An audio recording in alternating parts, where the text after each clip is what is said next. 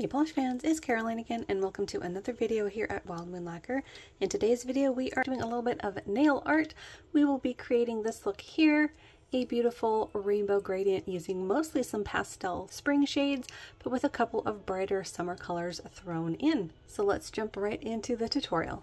So these are the colors that we're going to be using for our somewhat pastel rainbow gradient nails. I've got 12 different colors that I'm going to be using and I have them all laid out here. And the reason why it's 12 is because while I'll be doing two colors on most nails, there are a few nails that have enough for three. So like my thumbs and my middle finger will have three different colors. So that's 2, 4, 6, 7, 8, 9, 10, 11, 12. So that's what we're going for.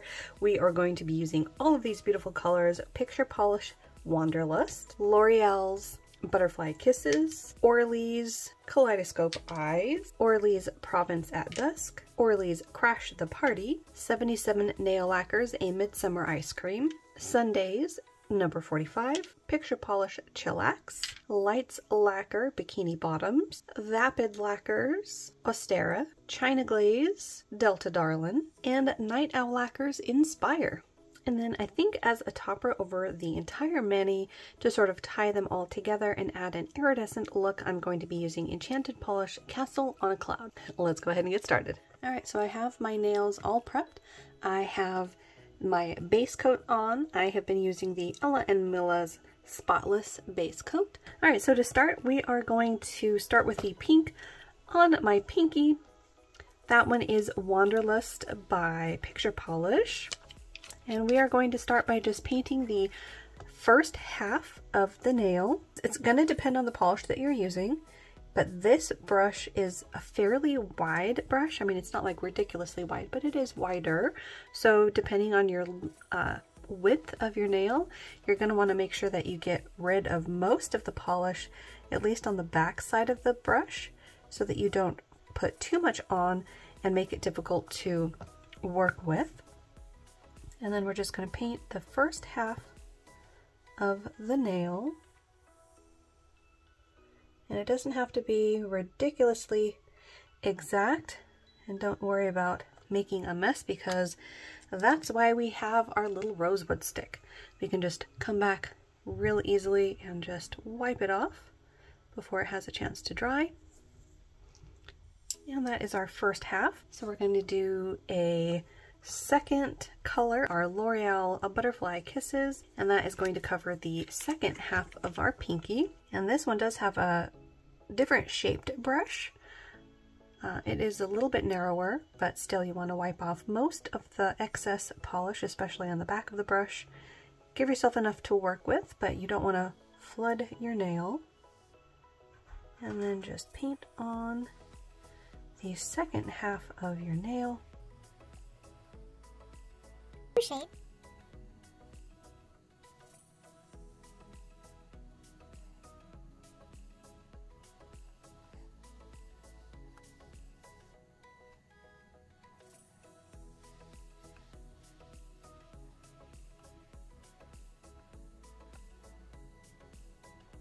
So our middle nail is one that we're going to be doing three different colors on. So for this brush, you're definitely going to want to wipe off most of it because we're going to try to stick to the left third of the nail. And these Orly brushes are nice and wide, not ridiculously wide, but nice and wide. So you want to make sure to clear off a lot of the polish on the brush. And then we're going to try to stick to that side and just go along the edge in a little stripe. That's sort of kind of maybe a third. Uh, it's probably not quite a third, but well, well. All right, then we're to do our middle color. So our blue shade, 77 Nail Lacquers A Midsummer Ice Cream is to go in the middle of my nail. Again, I'm wiping off most of the polish. I don't want a huge amount on there. I don't want to flood my nail. Just starting in the middle. And I'm going to stripe up the center and this one does have a like almost jelly formula. So we'll definitely need that second coat on this, but we're going to come back for a second coat on all of our colors. And Actually, this one is creating a nice layered effect over the Orly's Purple, which was uh, Crash of the Party. And then our third shade is going to be Sunday's number 45 on that nail. And that's going to give us our final gradient on the middle nail or on whatever nail you have the most room to add three colors. And if you have large nails across the board, you can do three colors on all of your nails and pick an even wider variety of colors. I was very tempted to try to do that, but I didn't think I could fit three comfortably on, on my pinkies. I might be able to, but maybe I'll have to try that next time. So adding three is definitely a little bit harder. All right, so now we've got the blue on that third. I'm not exactly doing fantastic lines, but you know, it doesn't have to be perfect. All right, so then I'm gonna do two on my pointer, and then I'm gonna do my thumb.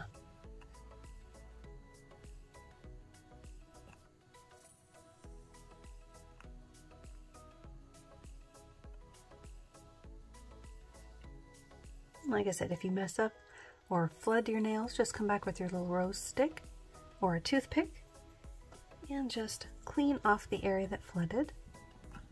Nice and easy. All right, so now our thumb. We'll take the last three colors. So we're gonna start with Vapids, Ostara, our light yellow, and actually the brushes on these half-size bottles are nice and narrow. They're a good size for this use when I'm trying to do little stripes.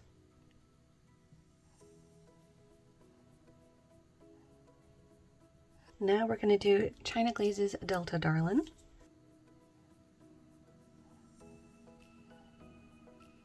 And then the last color in our gradient is Night Owl's Inspire. One last color. All right, there we go. That is our gradient on our thumb. So that is how we're looking so far. We're gonna let this dry and then we'll come back and do a second coat.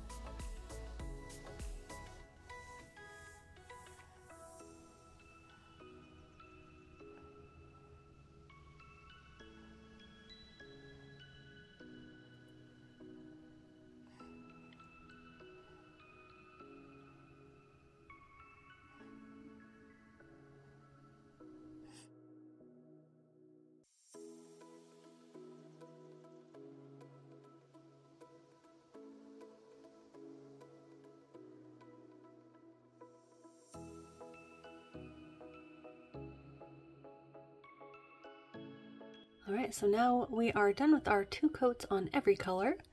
We are gonna let this dry and then come back for that topper. So we are all dry now. Now we're gonna come back with our Enchanted Polish, Castle on a Cloud, and top all of our nails.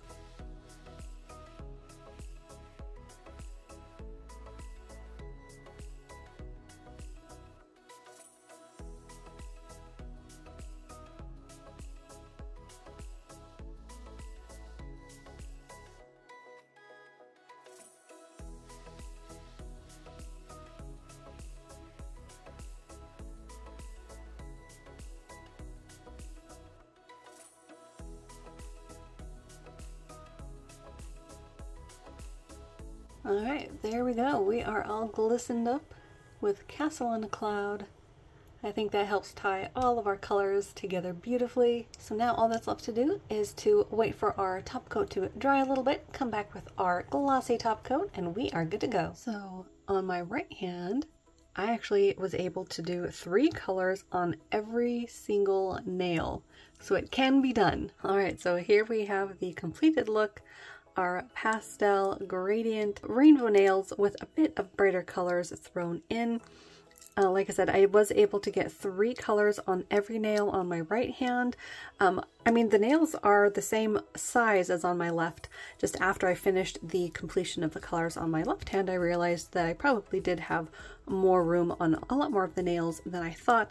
And then I decided to go for trying the pinky as well on this hand. So I just repeated some of the same colors. So I have the same colors on my pinky and my thumb. Of course, if you didn't want to do that, just add more colors to your gradient rainbow. But thanks so much for watching. Hopefully you enjoyed. Make sure to hit the little subscribe button down below. That way you don't miss out on any of my new videos, and I will see you in that next one.